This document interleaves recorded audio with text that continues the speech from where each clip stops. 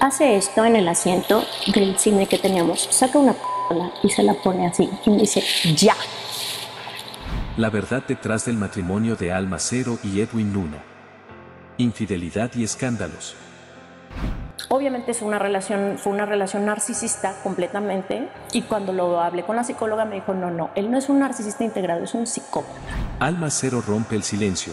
Viví una pesadilla con Edwin Luna. Reina, o sea, después de lo que yo viví, esos cinco años oscuros de mi vida, que te estoy... Es la primera vez que digo esto.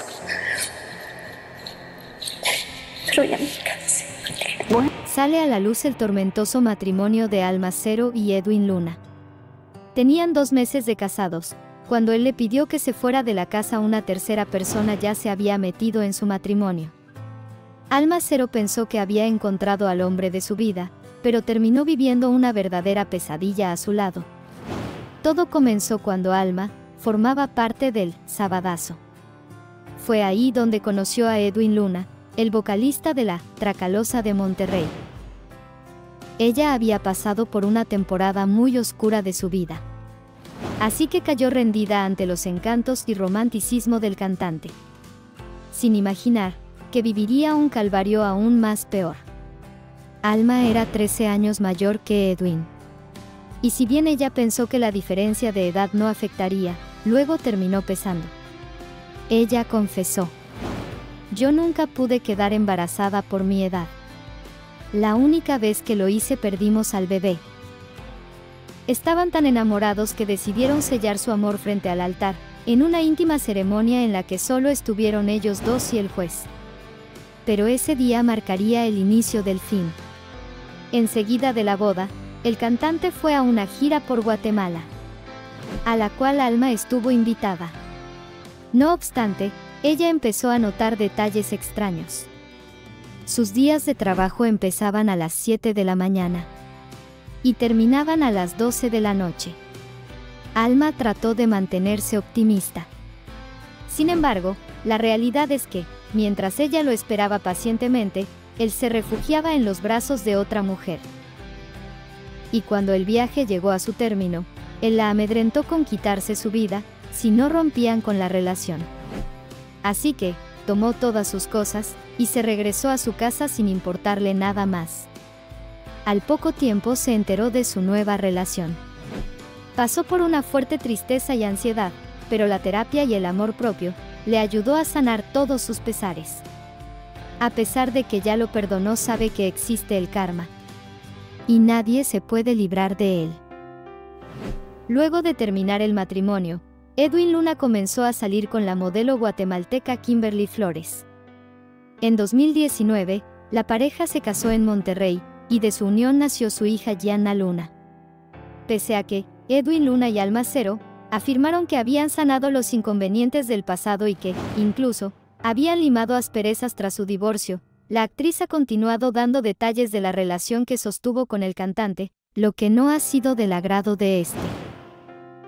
En marzo de 2019, en un video que publicó en sus redes y que posteriormente eliminó, Alma Cero declaró, No creo que haya sido culpa de Kim, las mujeres nos dejamos enamorar y creemos lo que queremos creer, yo no puedo juzgar a nadie, pero sí fue muy obvio que ella supo que se metía en un matrimonio, y decidió quedarse con Edwin. Dicen que por mujeres como ella, pierdes maridos que no valen la pena mantener. Actualmente, Alma Cero se dedica a su carrera, y poco a poco le dio paso de nuevo al amor.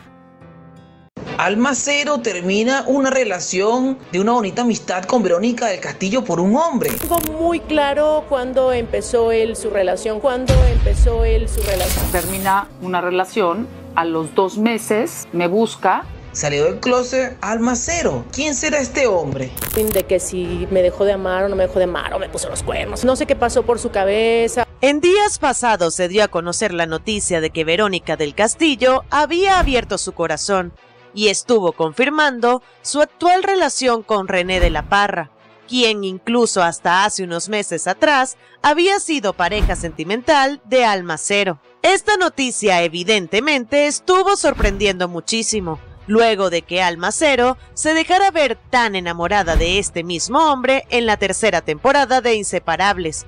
Por lo que esta vez esta famosa actriz estuvo hablando al respecto y confirmó que ella fue la que los presentó. Y es que ante el revuelo que provocó la hermana de Kate del Castillo por su nuevo romance, ahora la también conocida actriz por su participación en la serie María de Todos los Ángeles, y que incluso en su momento habló de boda con Parra, decidió romper el silencio y externó su postura al respecto con esta relación. Sí, yo tenía una amistad con Vero, pero bueno, cada quien tiene sus códigos, ¿no?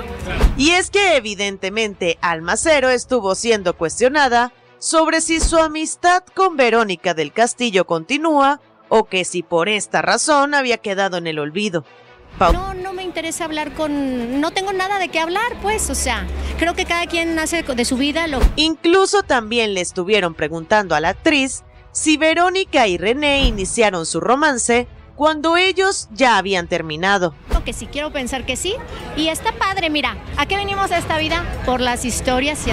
Pero lejos de hablar mal de su expareja, cuando la prensa le estuvo preguntando sobre lo que piensa de este nuevo romance de los famosos, y la forma de conducirse ante la vida, Alma estuvo compartiendo su visión sobre eso.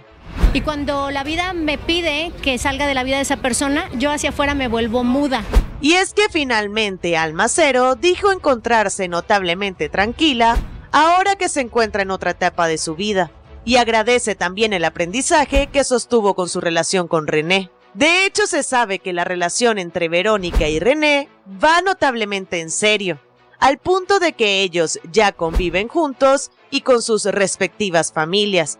Incluso se les ha visto asistiendo a reuniones y compartiendo felices momentos con ellos. Y ahora entonces Verónica del Castillo no solamente presume su amor, sino que también se encuentra disfrutando de esta nueva etapa en su vida personal. Lo cierto del caso es que, como bien dicen las abuelitas, amigo es el ratón del queso y sin embargo se lo come. Y todo indica que esta fulana amistad entre Verónica del Castillo y Almacero realmente no fue tan fuerte como para dejar pasar a un hombre que justamente...